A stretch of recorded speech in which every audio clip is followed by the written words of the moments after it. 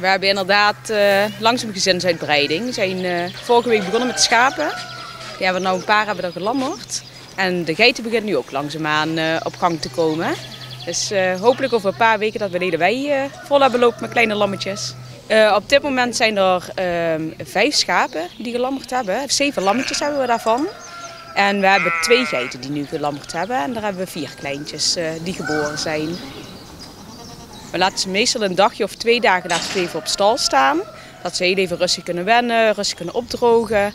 En dan, dan gaan ze de wei in als het goed weer is.